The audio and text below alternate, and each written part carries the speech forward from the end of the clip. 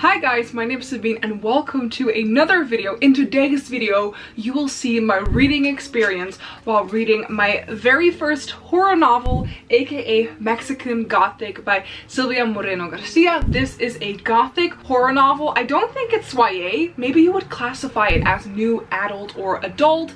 I'm not too sure about that, but what I do know is that I have never read a horror book before in my entire life. And I thought it would be fun to document whether or not this book has been scaring the crap out of me. And on Saturday, November 7th, which will have happened once you watch this video, I will be co-hosting a live show regarding this book together with Leonie and we have a special guest, Andrea from Bookramble, and she is the biggest Silvia Moreno Garcia fan, so I'm so excited that she's joining us for the live show. A link to that will be in the screen somewhere up here. I think it's this corner. I don't know.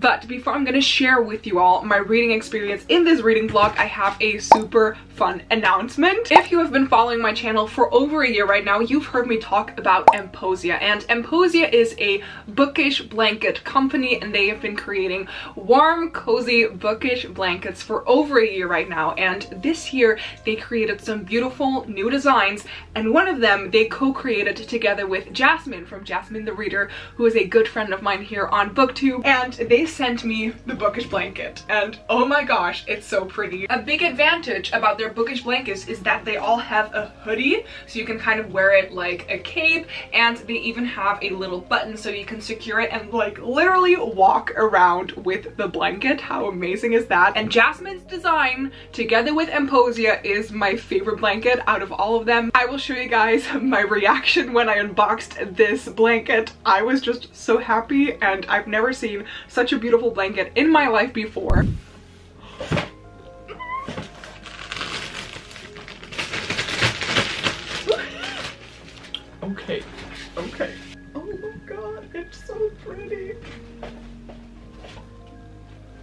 You look at that? So like I said, you can wear it with the hoodie and then here inside the blanket you have the button and you secure it with this little cord right here. And just like that, you are wearing the most comfortable, warm, bookish blanket ever.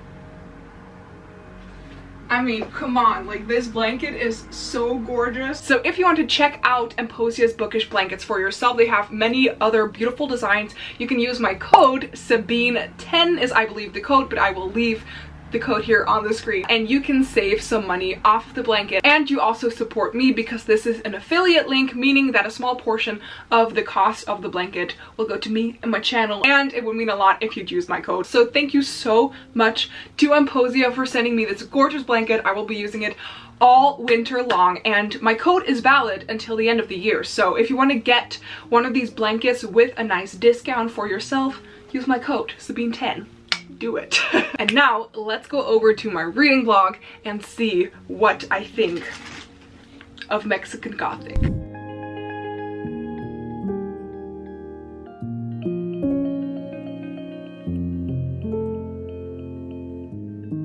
Hi guys. Okay, I hope the lighting is kind of okay. Maybe I should take off my glasses. I don't know. Ooh.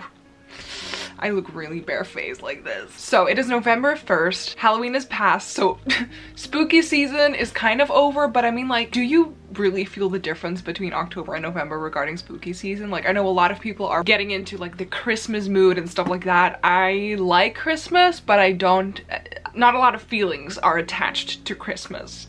but I have read the first six chapters of Mexican Gothic. I've decided I'm gonna give you six chapter updates because then at least some things have probably happened in this book. I kind of know what this story is about right now so I can give you a little bit more of a detailed explanation. So we follow our main character called Naomi Taboada. She is a big socialite kind of gal. Like she goes to all these parties and likes to talk to tons of people and dress up really nicely. And um, her father gets a letter from Naomi's cousin called Catalina. And she's been married to this guy called Virgil, I think is how I would pronounce his name. Sometimes I'm really iffy about like how I should pronounce names because we are dealing with a Spanish or like a Mexican and an English family in this book and she is talking really strangely in the in the letter I can't speak. She's talking very strangely in the letter just like I'm doing right now, about like how the house in which she lives with Virgil's family is kind of like possessed and weird things are happening and she doesn't feel like herself. So Naomi's father sends Naomi over to Catalina and she's kind of supposed to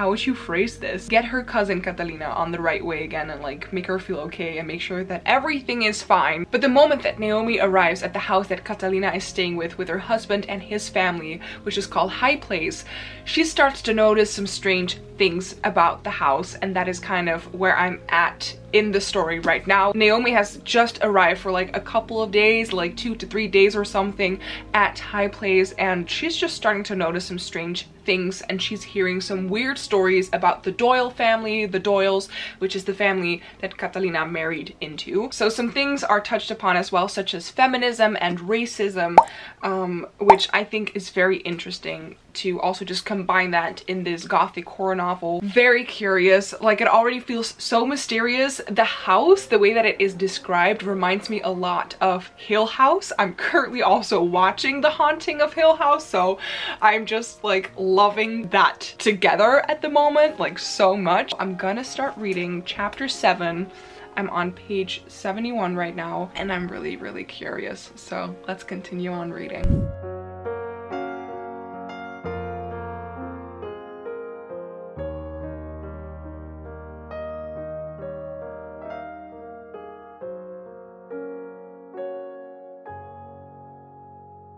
So I wanted to read until chapter 13, but I'm really tired. so I'm on chapter 12 right now. Not a lot of big things have happened after my last update. We've just been given some more information about the family that Naomi and Catalina are staying with. You're just having some kind of like little bits of info dumping with that, but I don't really mind with this book for some reason. The atmosphere is really amazing. Like the way that this house is described is just so creepy and I would 100% not want to be there. It seems as if like the life has just been sucked out of that place. Our main character is having quite some like nightmares and those seem like they would be perfect in the TV show because I know that there is a TV show coming for Mexican Gothic. But I'm gonna go to bed right now because I'm really, really tired and then I will speak to you when I have read until chapter 19, I think is where I'm supposed to be then. I don't know. We shall see. Bye.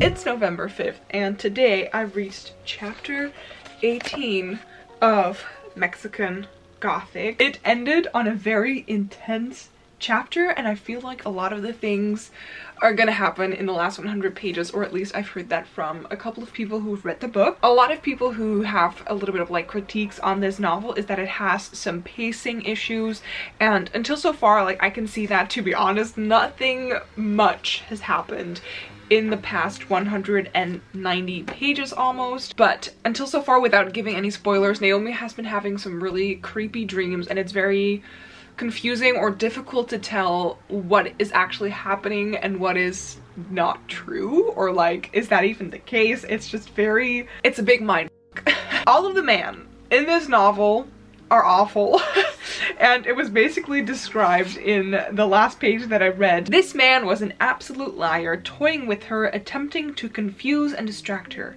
He turned kind for a second when it suited him, granted her an inch of cordiality, then took it away.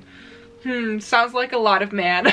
so you definitely feel the feminist tone in this one and I do enjoy Silvia Moreno Garcia's writing style because usually when in a book for like about 190 pages nothing really big happens, I usually am not very intrigued by it or like I don't really love it. But with this book, I don't mind too much. So it probably has to deal with Silvia's writing style. It's, I don't know, very captivating and just really nice and easy to read through. So yeah, I'll give you another update once I get to chapter 24 or something to see what will happen next. I'm very curious. okay, so I am at chapter 24 peeps. I did it.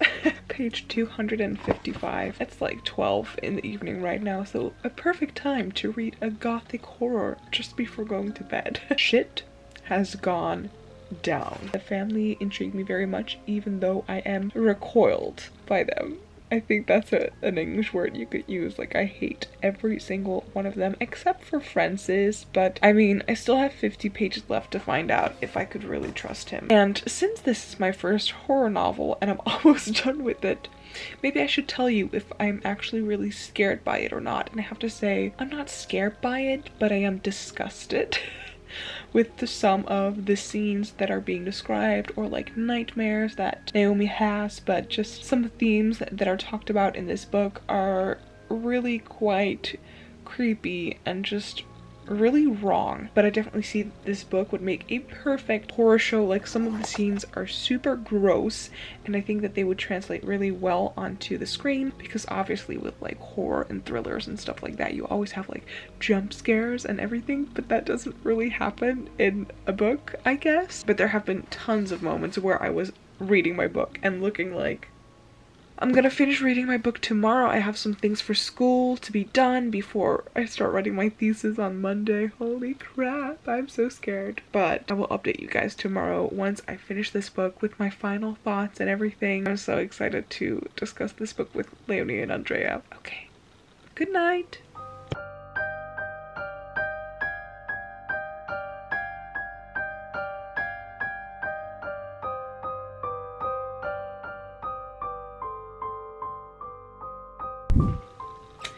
Okay, I just finished reading Mexican Gothic and I have to say I was not expecting this ending. I won't spoil anything but like the last chapter I did not expect the story to turn in that kind of a direction. I expected this book to end differently. okay, where to start with my thoughts? I've said this before during this reading vlog until page 200.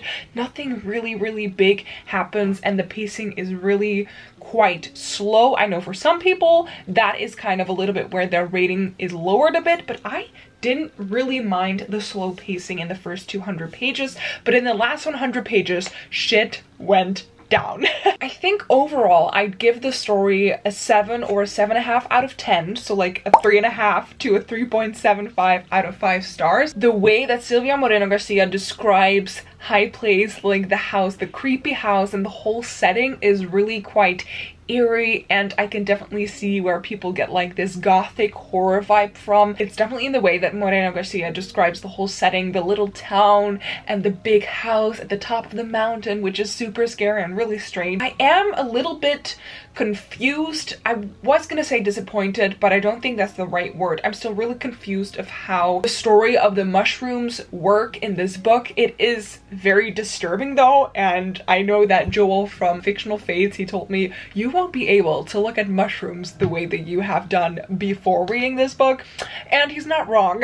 but the whole backstory is still very confusing to me. So maybe in tomorrow's live show that will be kind of cleared up once we have a discussion. I loved our main character character. Her willpower and just she is so motivated like I've said before and I really liked her spirit so much and I like that this book had a feminist touch and it's definitely unlike anything that I've read before. If you want to have a very eerie kind of spooky creepy book um, that gives you like haunted mansion vibes I'd say definitely pick up Mexican Gothic. For right now I want to thank you guys so much for watching this reading vlog. I hope vlog. I hope that you had a wonderful time with me seeing how my first horror reading experience is and if you have any horror book recommendations, then let me know in the comments down below. And also, if you guys have any like reading vlog ideas as well, please leave a comment. That would be super helpful. If you guys enjoyed this video, please give it a thumbs up. You can subscribe to my channel by clicking somewhere here on the screen or on the button down below. You can also follow me on all of my different social media pages because I'm a booktuber. Of course, I have Goodreads, but I also have Instagram, Twitter, an email address, and of course my Etsy shop. It would mean